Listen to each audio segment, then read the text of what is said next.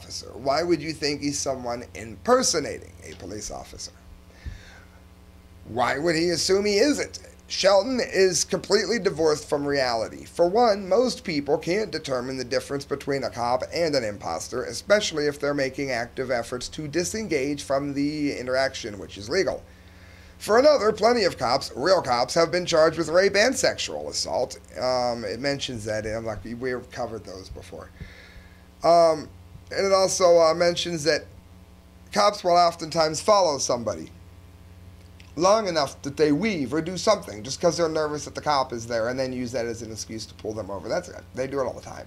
So, friends, that's the dumbity of the day. I'm sure you can see why.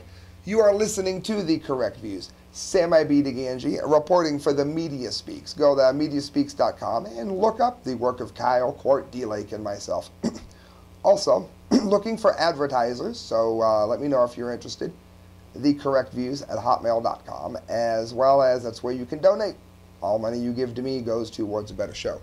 Good night, friends. God bless, and thank you very much for tuning in.